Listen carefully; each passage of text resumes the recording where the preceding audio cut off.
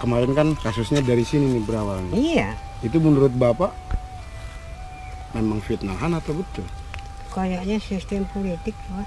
Soalnya apa?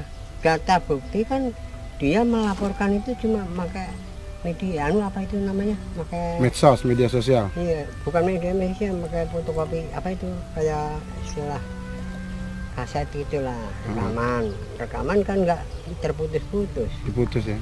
Terputus-putus kan nggak mulai dari awal di sini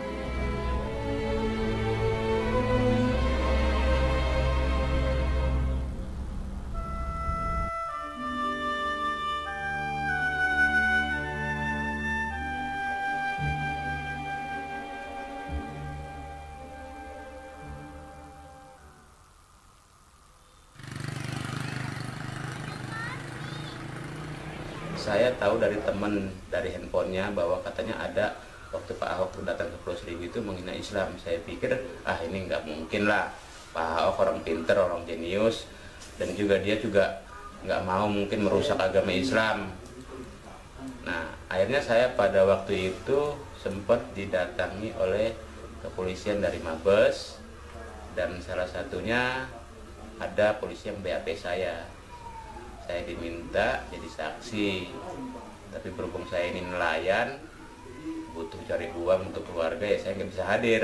Tapi di situ saya sudah buat pernyataan tidak menyimpang dari apa yang ditanyakan oleh Pak Polisi. Dan tidak ada unsur untuk menjelekan agama. Saya juga kaget dua hari kemudian ada ada ada masalah penistaan agama juga kaget. Kita sendiri juga kaget di Puro dari siapa dan siapa yang yang yang meramaikan penistaan agama itu juga kita nggak tahu orang Puro juga kagak tahu semua. Tahu-tahu dengar aja di TV itu dilihat di TV di TV tapi kok ada orang ini orang ini perasaan nggak hadir menurut saya kan gitu.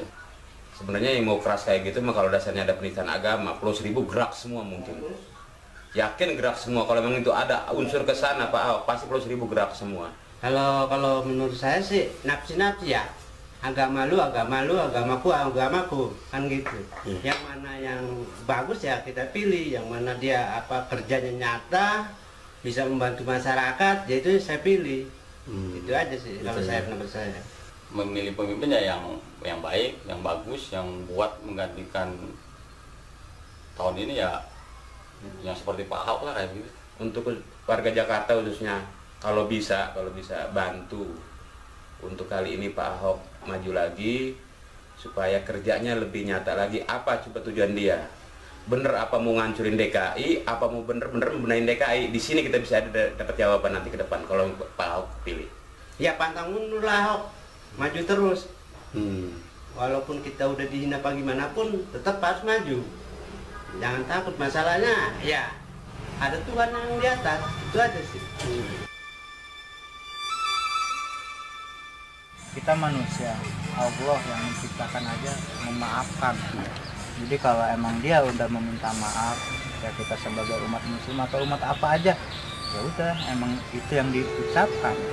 Dan kalau emang kita kembali lagi pada sang pencipta Allah aja kalau kita punya salah minta maaf bertobat dimaafkan walaupun kita nggak tahu. Iya betul. kan? menurut